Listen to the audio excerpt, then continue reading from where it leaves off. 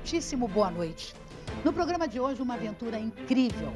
Vamos caminhar pelo teto da Serra Catarinense, 1.800 metros de altura, à beira de cânions.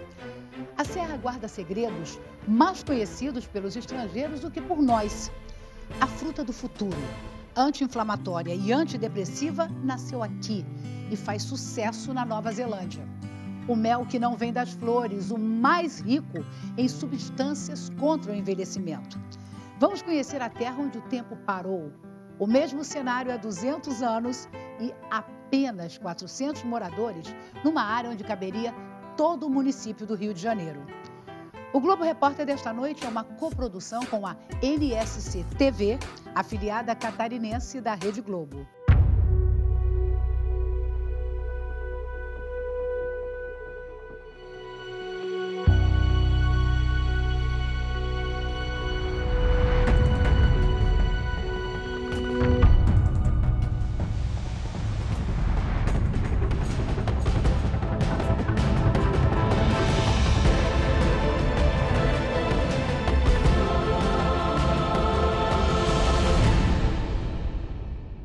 O desconhecido. Ele tem o poder de mexer com a nossa imaginação, com a nossa curiosidade. É como um imã atraindo a gente. Mas o desconhecido também costuma dar medo. Medo do desconhecido. Quantas vezes você já sentiu isso, hein? Bom, aí ou você deixa o medo te paralisar ou encara ele de frente e abre a porta para a aventura.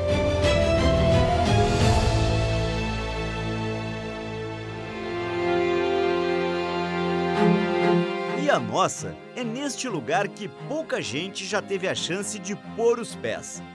A última fronteira intocada de Santa Catarina é chamada de Campo dos Padres, um grande planalto na borda da Serra Geral, onde estão os pontos mais altos do estado. Caminhar no teto de Santa Catarina não é coisa para amador. Por isso a gente está contando com a ajuda de pessoas que conhecem muito bem a região montanhistas e moradores locais. A nossa expedição vai percorrer os 70 quilômetros dos campos de altitude mais preservados do sul do Brasil. A nossa rota é à beira de precipícios, com paisagens de tirar o fôlego.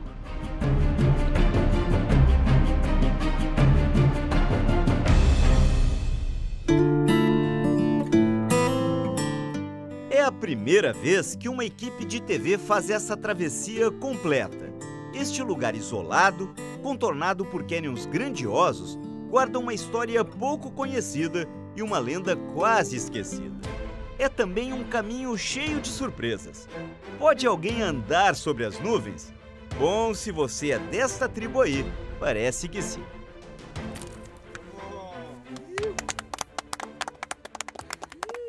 Quando dizem que quem faz isso é louco, é o contrário, né? Você tem que ser muito equilibrado para fazer. Tem que ser equilibrado. Mas tem que ser um pouquinho louco também, né? o Canyon do Espraiado é o portal de entrada do Campo dos Padres. É assim como um paraíso para essa galera. O Rafa botou na cabeça que um dia estenderia uma fita de highline entre os paredões. Um dia eu preciso atravessar esse canyon, assim, e de lá para cá eu pensei todos os dias, todos os meses, como é que eu ia fazer para realizar esse sonho. 300 metros balançantes sobre o precipício. Profundidade, quase meio quilômetro até lá embaixo. Foi assim que eu acabei pendurado sobre o abismo. Qual é a parte que eu disse que a gente ia encarar o medo, né? Acho que é essa. Ter medo é ter juízo também, né? É bom ter medo, isso quer dizer que a gente está vivo. Bom, é impressionante a confiança, a concentração e o equilíbrio desse pessoal. Se exige um, um equilíbrio mental e físico brutal, algo que eu francamente não tenho. E acho que não vou ter nunca não. E agora é melhor eu sair daqui. Já terminou a brincadeira. Para o Marcos a coisa ficou muito séria, tanto que deixou para trás a faculdade e um emprego numa multinacional. Tem sido maravilhoso, os melhores anos da minha vida. Tem os amigos que você faz, os lugares que você conhece, é, as coisas que o esporte te proporciona é, é muito incrível, assim. Já ouviu falar de beirismo?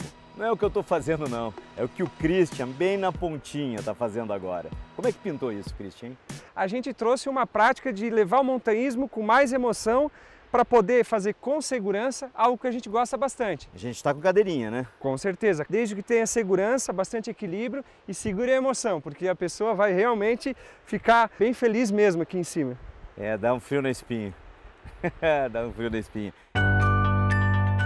Hora de deixar para trás o cenário vertiginoso. Temos à nossa frente uma imensidão para vencer.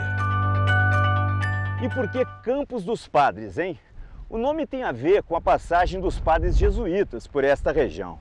Quando eles foram expulsos pela coroa portuguesa em meados do século XVIII, os jesuítas tiveram que abandonar as missões e fizeram por estes campos sua rota de fuga. Daquele tempo, só restaram as ruínas desta calçada de pedras por onde eles passaram. E uma história que mexeu com a imaginação de muita gente.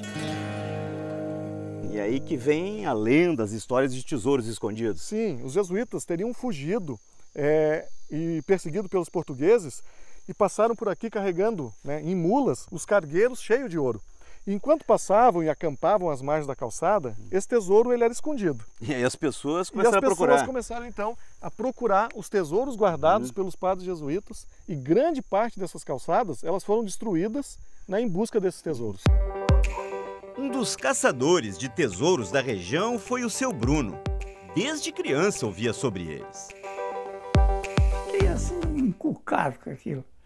E daí foi passando os anos, foi indo, até que de repente me deu na ideia de, de não, agora eu vou atrás disso aí para ver se é verdade, que se existe. Aí resolvi de comprar um aparelho. Detector de metal. Metal, isso mesmo. Daí se dava sinal, eu cavava. Mas era um miserável que marcava pedra, marcava pedaço de ferro, marcava tarânia, marcava tudo quanto era porcaria. E olha que ele procurou. Cinco anos de busca. Chegou a montar um museu em casa com as coisas que encontrou. E nenhum ourinho. Ouro, nada. Mas ficou uma pontinha de esperança. Algum lugar tem que ter alguma coisa. Porque senão não era contado, né? Porque onde existe fumaça tem que ter fogo.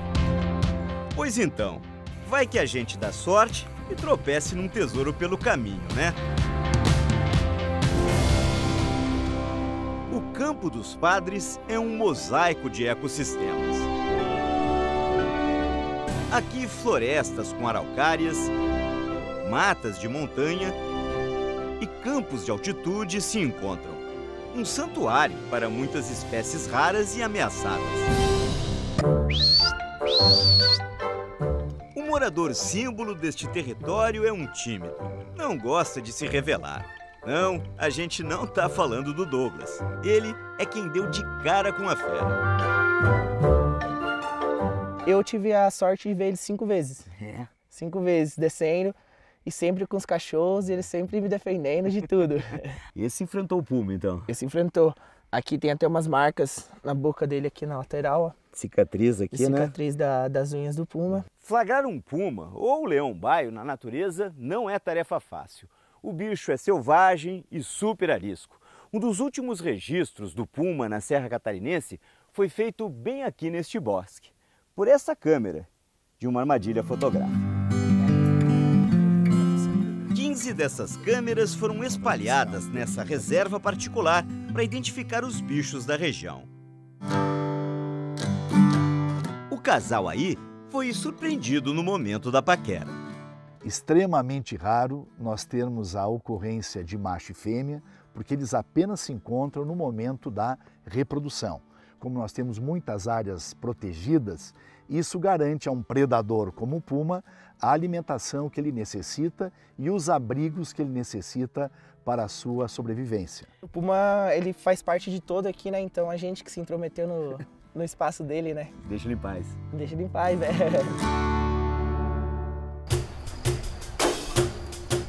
caminho tem lá suas armadilhas para o bicho homem. Olha só, passo em falso, ó. Me enterrei na lama. Ó, chega a sugar a bota. A gente tem que passar por essa vegetação aqui arbustiva chamada de vassoura branca. Ela arranha um pouco, é mais complicado. As tatuagens da trilha. As tatuagens da trilha? Vamos lá.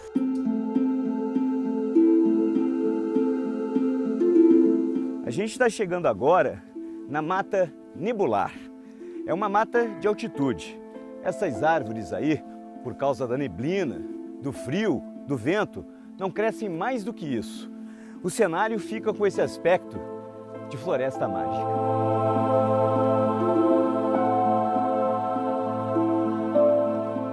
À medida que a gente avança, as árvores vão sumindo da paisagem. E olha só que admirável. Essa arvorezinha aí, solitária, única, toda retorcida, ela conseguiu brotar e crescer nessa região super selvagem. É uma espécie de símbolo do Campo dos Padres. O vento sopra tão forte que os nossos bastões de caminhada parecem até instrumentos musicais. Esta região é o lar de pouquíssima gente. Só há quatro casas de fazenda ao longo do caminho. Por isso, em alguns dias, vamos ter que acampar. Em outros, contar com a hospitalidade local.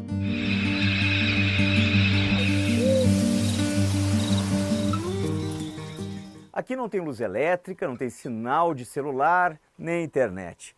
Mas a gente tem aqui o luxo de um fogão a lenha feito de pedra e desta saborosa feijoada. Obrigado, Carol. E é hora de comer porque amanhã ó, a gente tem uma longa caminhada pela frente. O dia amanhece com um desafio: chegar ao ponto mais alto de Santa Catarina. O trajeto é puxado.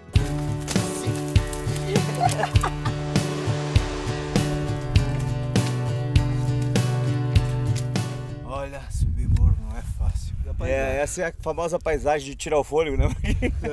É, bem isso. É tudo morro acima. Tive que parar para recuperar o fôlego. O esforço exigiu muito de todos. O Dário capotou. Depois de 30 quilômetros de caminhada, a gente chegou à metade da nossa travessia e também ao ponto mais alto de Santa Catarina. Está aí o Morro da Boa Vista, 1.827 metros acima do nível do mar. Ficar assim, pertinho do céu, é um bom motivo para comemorar. A gente teve sorte de encontrar o morro todo descoberto. Aqui o tempo muda sem mandar aviso. A neblina chega depressa cobrindo tudo.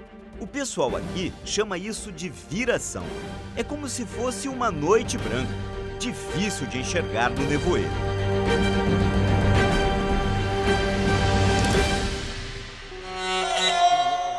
O Arno, responsável pelos cavalos da expedição, já caiu nessa cilada. Perdi uma vez, mas tive sorte, foi durante o dia, né? E consegui me, me safar, mas por sorte também. Na geração apaga as orientações, né? Tu não, não, não, não consegue entender mais nada, né? Onde é que tá? Para onde vai? Na, na, mata e no campo, tu tá, fica totalmente desorientado. Né? Por outro lado, o Balé da Neblina está sempre redesenhando os cenários. Num piscar de olhos, podem pintar visuais estonteantes. Esse é o mar de nuvens. É quando o nevoeiro espesso fica parado na garganta dos cânions. A neblina se abre e revela a última casa do caminho.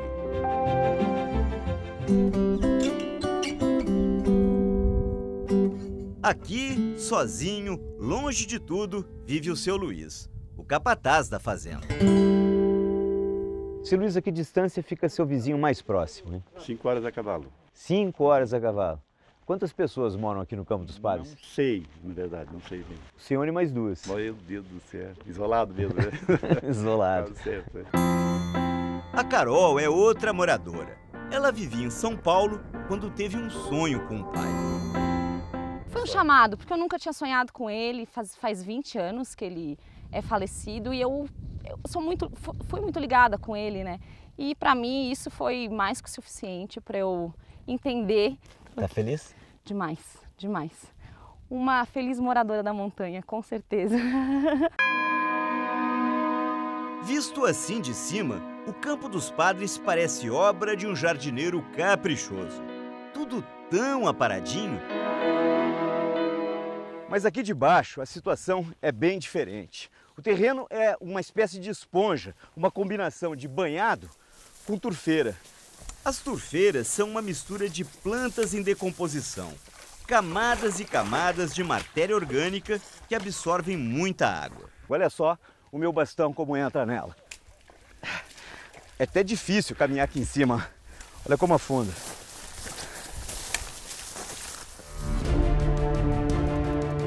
Estes campos de altitude são uma grande caixa d'água. A água da chuva, retida pelas turfeiras, forma riachos, que viram rios, que terminam em cachoeiras espetaculares. Esta aí do Rio Canoas tem uma queda de 110 metros de altura. Foi para registrar imagens assim que parte do grupo acabou ficando para trás, bem longe da segurança do acampamento um lugar que pode ter temperaturas congelantes. A gente teve um imprevisto e teve que invadir a noite caminhando aqui no Campo dos Padres. Olha só como é que estão as minhas botas, ó. A gente está enterrando lama nessa trilha até o joelho, mas a gente tem que chegar para poder acampar. É um lamaçal só. A dificuldade agora é só a subida. Vencendo a subida, chegamos no acampamento. Vamos lá. Vamos lá. Vamos com fé. Força, energia chegamos. O pessoal ainda bem, ó, já montou as barracas. Eu acho que eu vou ter a noite de sono mais pesado da minha vida. Boa noite.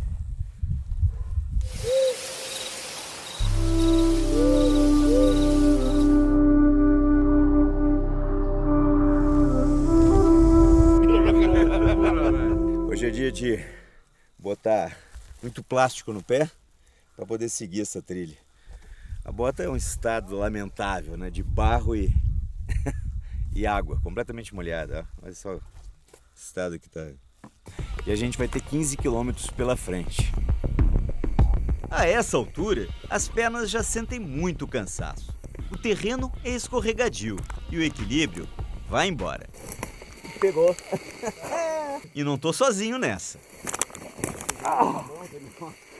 Não disse? Mas a paisagem ajuda um bocado. É um mundo cercado por monumentos naturais.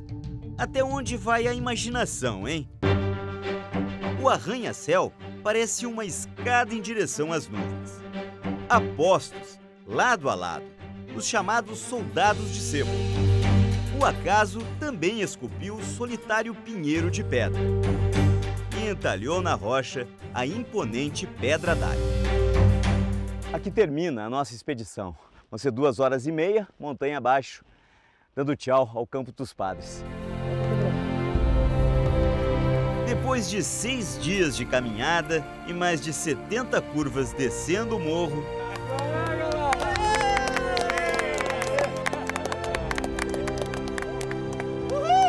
Inesquecível.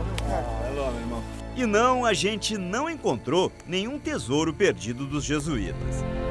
Num lugar precioso assim, o tesouro é mesmo o próprio caminho.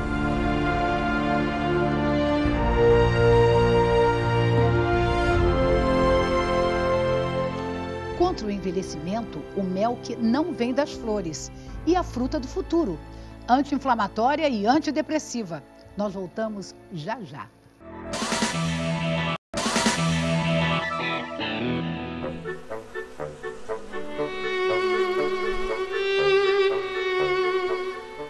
Tempo de banquete. As abelhas se fartam com as gotinhas. E deve ser mesmo muito bom. Olha só a gula desta aí. O que você está vendo é um capricho da natureza, que só pode ser visto em alguns poucos lugares mais altos do sul do Brasil.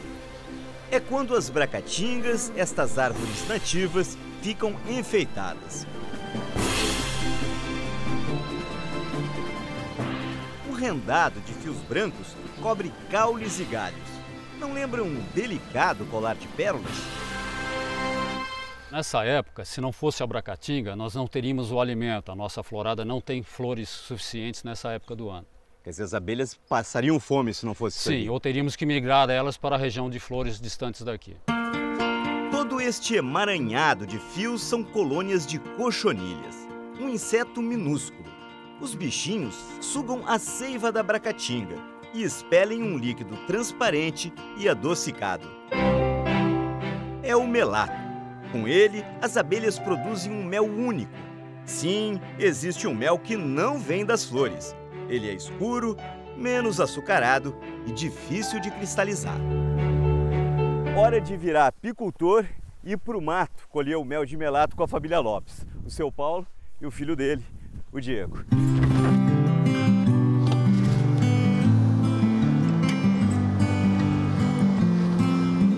Vinte anos atrás, o mel de melato era uma espécie de patinho feio da apicultura da região. Não tinha valor, não rendia dinheiro para os produtores. Isso ficou assim até que um dia uma amostra foi parar na Alemanha. Foi um tremendo sucesso. Os alemães passaram a comprar toda a produção catarinense.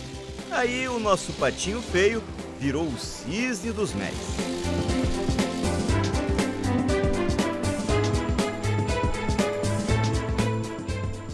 Uma delícia. Ele é menos doce do que o mel normal que a gente conhece. É mais suave. Muito bom. Este mel escuro é a aposta mais recente dos pesquisadores do grupo em antioxidantes naturais da Universidade Federal de Santa Catarina. Ele começou a ser estudado em 2014 e os tubos de ensaio estão revelando novidades promissoras. Além de ter uma menor quantidade de açúcares quando comparado aos méis florais, aqueles tradicionais, ele tem apresentado uma maior quantidade ou concentração de, de compostos bioativos, como aminoácidos, flavonoides e minerais. Eles são compostos antioxidantes eh, estudados na prevenção e envelhecimento. Pena que este mel tão especial não esteja na mesa dos brasileiros, como aqui, na casa da família Lopes. Falta o brasileiro descobrir o mel Falta o melato. brasileiro descobrir o mel, é, que é muito bom. Um pãozinho de milho, melato, uma natinha, não tem coisa melhor. Tá feito o café. Tá feito o café. Estes pomares guardam um outro segredo da Serra Catarinense. Os pesquisadores estão de olho nas muitas qualidades desta que é considerada uma das frutas do futuro. Ela é rica em vitamina C e tem baixíssimo valor calórico. Você já ouviu falar de goiaba serrana? Se está pensando na goiaba tradicional, esquece, né, Marlise? Ela é bem diferente. Exatamente, é começar pela casca, que é dura, é firme, não pode morder. Não dá para morder. Então, como é que a gente come? Normalmente nós cortamos então e com faca e comemos, A polpa? consumimos a polpa. Olha como é. Inclusive de colher, porque ela é bastante suculenta. Posso experimentar? Pode experimentar. Vamos lá. Um pouquinho da polpa da goiaba serrana. E ela é bem perfumada, né? É, ela é bastante aromática. Uhum. Experimentar. Doce e azedinha. Mas o que ela tem de tão bom para estar na lista do Ministério do Meio Ambiente como uma das frutas do futuro? É uma fruta rica em sais minerais, potássio, cálcio, magnésio, rica em iodo e vitamina D. E tem muitos estudos já. Existem estudos já, especialmente nos Estados Unidos e na Nova Zelândia, e eles indicam que a goiaba serrana ela tem propriedades uh, antidepressivas, anti-inflamatórias, antioxidantes, ou seja, bastante completo. É uma receita de saúde, então. E muito saborosa. Esta aqui é a goiaba serrana como a gente encontra na natureza. O trabalho dos pesquisadores é melhorar a planta, fazer ela ser mais produtiva, resistente às pragas e também ter frutos bem maiores e mais saborosos. Quatro variedades já foram desenvolvidas pelos pesquisadores da Universidade Federal de Santa Catarina e da empresa de extensão rural do estado. Eles querem que a goiaba serrana tenha aqui o sucesso que já faz em países como a Nova Zelândia e Colômbia, que apostaram antes nesta fruta brasileira. Aqui na Serra, a família do Adriano é uma das pioneiras no cultivo. A gente acredita no potencial da fruta e é um sabor que merece ser descoberto. As pessoas gostam. Gostam muito, Uhum. né? E ela tem que deixar de ser uma fruta de fundo de quintal e o Brasil conhecer, né? Ganhar o Brasil. Ganhar o Brasil. Tá certo. E não faltam receitas para isso. É, foi difícil para nossa equipe resistir aos sabores da fruta do futuro. A dona Lorena tem uma fé inabalável. Primeiro em Nossa Senhora, depois no poder curativo das plantas da serra. Criei 12 filhos. 12 filhos? Levou em médico, Levei- farmácia? É, levei três vezes na farmácia e duas vezes no médico. O resto foi aqui? O resto foi tudo com as ervinhas. E a água benta, né? Que a gente sempre confiou muito. Fé. E as ervas ajudaram a cuidar da família, por que não, de toda uma cidade. A pequena Rio Rufino adotou a ideia da dona Lorena e criou a Casa do Chá. Já faz 18 anos que a rede pública passou a usar as plantas medicinais como uma alternativa para tratar a saúde da população. E é tudo de graça. Os fitoterápicos produzidos na Casa do Chá são feitos com ervas compradas pela prefeitura e doadas pelos moradores. Com quantas ervas vocês trabalham? Em torno de 35 ervas. E essas são a da região. São as nativas. Nunca ouvi falar dessa aqui. Erva de touro, para que que serve? Popularmente é usado para problemas de bexiga e estômago. E eles usam no chimarrão. Aromática. Aromática. Poejo serrano. Poejo serrano é dos campos de altitude e nós usamos no xarope como antimicrobiano para proteger o pulmão, tosse, gripe. E tem o cidrão de árvore. Perfumada, né? Bem cheirosa. Para que que serve o cidrão? Essa é para combater insônia, como relaxante também antimicrobiano. Com elas, a Casa do Chá faz sabonetes, cremes, óleos e xaropes. Os remédios da Casa do Chá estão ajudando gente e também os bichos. É que nesta cidade, em que a maior parte da população ainda vive na área rural, os animais são muito importantes. O malhado aqui foi um dos pacientes. Sônia, o que, que teve o malhado, hein? O malhado teve uma infecção muito séria na orelha a ponto de perder metade dela. Ele foi tratado com uma combinação de plantas para matar as bactérias e ajudar na cicatrização. Nossa parte foi passar o remédio umas 4, 5 vezes por dia, né? Durante uns dois meses. Curou? Curou. E esse chapéu aqui? Esse chapéu aí foi para esconder um pouquinho, né? E deixar mais charmoso um pouco. Ficou charmoso malhado. Vamos conhecer a terra onde o tempo parou. O paraíso catarinense que está conquistando os estrangeiros. É no próximo bloco. Voltamos já já.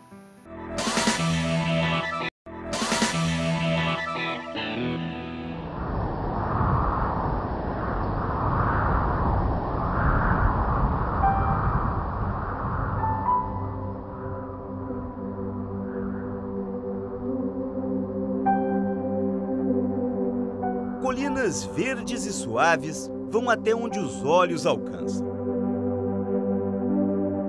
Muros de pedra se estendem a perder de vista. E antigos casarões de senhores de gado estão isolados nessa imensidão. Esta é a Coxilha Rica. Um lugar que parece ter sido esquecido pelo tempo. Que pouco mudou em quase três séculos. Agora as fazendas centenárias começam a abrir suas portas. A Coxilha Rica quer mostrar a sua história, sua natureza, o seu jeito de ser. O nome Coxilha Rica tem a ver com o capim nativo que cobre esses campos ondulados. Um cenário que tem um encanto de um mundo ainda preservado bosques de araucárias, rios, cachoeiras e muita vida selvagem. Flagramos a raríssima águia cinzenta, uma das maiores e mais ameaçadas aves de rapina do Brasil. Aqui os veados campeiros vivem livres. Na fazenda do Carlos, eles têm tratamento especial. A primeira coisa é evitar a presença do cachorro, principalmente é uma tradição na nossa região o campeiro sair com o cachorro para auxiliar no trabalho do gado. Aqui na nossa propriedade isso não é permitido, não saem cachorros porque vão assustar os animais e vão afastá-los daqui, né? E também tem o cardápio. A pastagem, à base de azevém e de trevo, é para melhorar a dieta do gado, mas virou banquete para os bichos. Estes campos ainda são um segredo para os brasileiros, mas já chama a atenção de muita gente lá de fora. Aí neste grupo tem chileno, americano, belga, italiano, irlandês. Os estrangeiros estão descobrindo as belezas da coxilha. A aventura aqui é no lombo do cavalo. Longas distâncias debaixo de sol e também de chuva. Eles vão sem pressa, de fazenda em fazenda. Levantam com o sol e só param com a lua. Vão dormir com o calor da lenha e da música.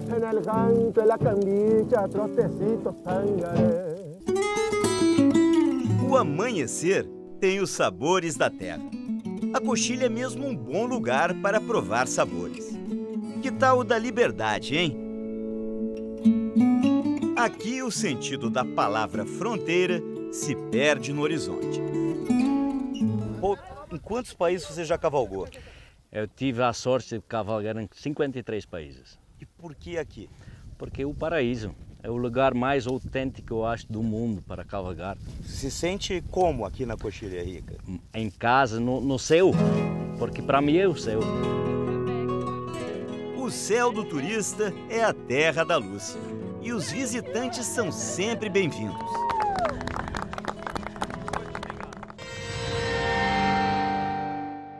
Os antigos casarões da Coxilha Rica abrigam muitas histórias curiosas. Lá nos anos 1800, a vida não era nada fácil para as mulheres da Coxilha.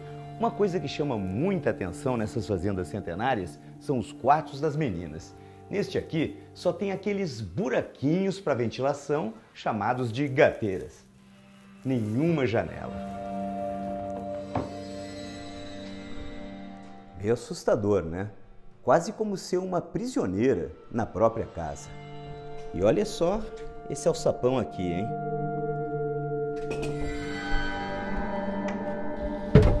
Em algumas fazendas, além do quarto não ter nenhum tipo de abertura, o único jeito de entrar ou sair dele era passando por aqui, ó, pelo quarto dos pais. A vigilância sobre as moças era total. E por que, dona Eliane? Pois é. Naquela época passavam muitos viajantes, tropeiros, e para que a, os pais evitassem a cobiça sobre as meninas. Ah, não eles... queriam eles de olho nas meninas. Não, de jeito nenhum. Aí trancavam as moças. Ficavam trancadinhas. Pobres moças, né? Coitadas. Isso mudou? Mudou, graças a Deus, ainda bem. A Coxilha Rica fica na parte rural do município de Lages, o maior de Santa Catarina. Para dar uma ideia do tamanho, toda a cidade do Rio de Janeiro caberia dentro dela. E pouca gente vive aqui, menos de 400 pessoas. A Giovânia é uma delas. É professora em uma das três escolinhas espalhadas por esse mundão. Só dois alunos, professora? Só dois. Metade da turma, é São quatro, né? Hoje eu estou com 50% da turma. São 12 anos ensinando as crianças do campo. É gratificante pelo respeito que as pessoas têm pelo professor, né, do campo, é de brilhar os olhos. Os monumentais corredores de taipa rasgam os campos e vão além do horizonte. São o maior símbolo da coxilha rica. Estes muros de pedras foram erguidos por escravos negros e índios, isso lá no começo do século XVIII. Por mais de 200 anos, os corredores serviram como uma espécie de estrada. Por eles, os tropeiros tocavam o gado e as mulas com as mercadorias entre o sul e o sudeste do Brasil. 100 quilômetros dessa verdadeira relíquia arquitetônica ainda resistem à passagem do tempo. Até hoje, as taipas são usadas para cercar as propriedades. Ele é um dos últimos taipeiros da coxilha. Seu Silvio ganha vida construindo e recuperando estes muros. Chega a fazer 5 metros de taipa por dia. É o jogo de caixa. Aqui eu estou encaixando, ó. Vou, vou arrumando a pedra, por, o cacho por dentro, para ela ficar certinha, ó. O mais difícil é encontrar quem queira fazer o que ele faz. Ah, não, acho que é bem difícil aparecer alguém. As taipas vão acabar caindo tudo e ninguém vai querer mais né, é, remontar porque não vai achar ninguém mais para remontar, né? O tamanho dos chifres chama a atenção. 2 metros e 22 centímetros. 2 metros e 20 de uma ponta a outra? É. Esse é o campeão até hoje? É, que eu, que eu, tenho, que eu tenho lembrança é esse. É. Estes animais são outra raridade. Vêm de uma linhagem muito antiga. Algo assim como os tataranetos dos primeiros bovinos trazidos para o Brasil. Lembra que a gente disse que os jesuítas, em fuga, passaram por essa região? Eles deixaram para trás aqui nesses campos cerca de 200 mil cabeças. Esse imenso rebanho então virou selvagem e assim surgiu uma nova raça, o gado crioulo lajano. Hoje só existem cerca de 3 mil cabeças do gado crioulo lajano em todo o Brasil. É, uma vida a serviço de uma raça, né? Eu acho que isso é um patrimônio que não pode desaparecer, né? Este mundo, quase parado no tempo, agora sente a pressão dos novos tempos. A paisagem começa a mudar, com plantações de pinos para as indústrias de papel. E parte do histórico caminho das tropas pode desaparecer com a construção de hidrelétricas. A fazenda centenária da família da Nuna estava para ser alagada. O lago da hidrelétrica chegaria até aqui, encobriria toda a propriedade, né, todas as benfeitorias da fazenda. Ela lutou na justiça e a fazenda foi tombada pelo patrimônio histórico. O progresso tem que chegar, precisamos dele mas a gente não quer que a nossa história, ou a história de toda a região da Coxilha Rica, se perca embaixo d'água, né? Se todos destruírem, que histórias nós vamos ter para contar, né?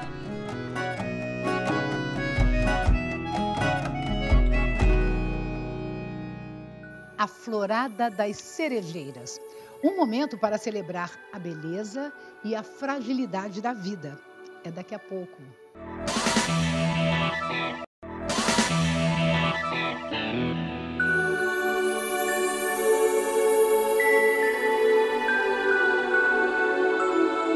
Esta terra de beleza selvagem também tem seu tempo de delicadeza.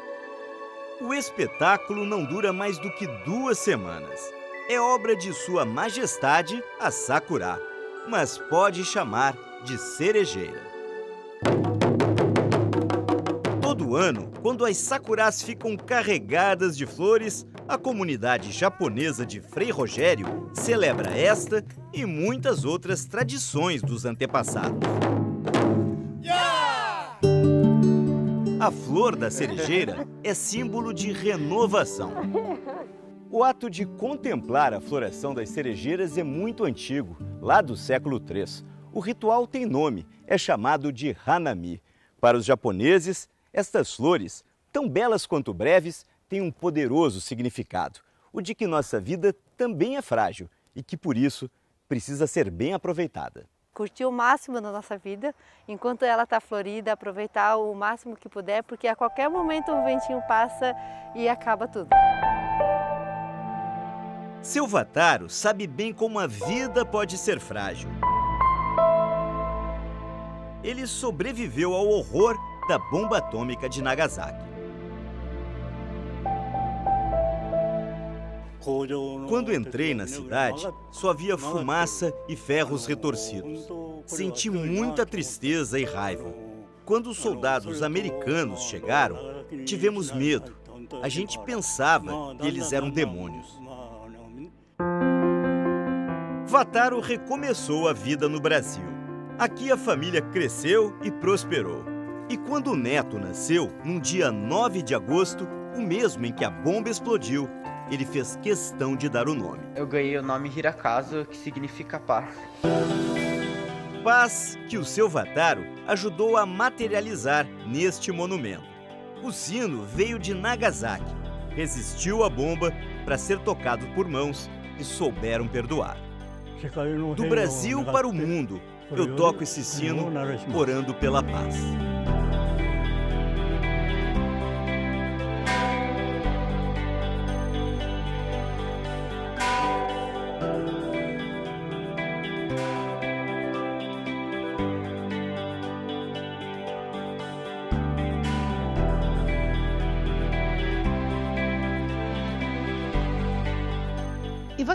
Agora com Máquina Mortífera, a série. Para todo mundo, um fim de semana maravilhoso e até a próxima sexta.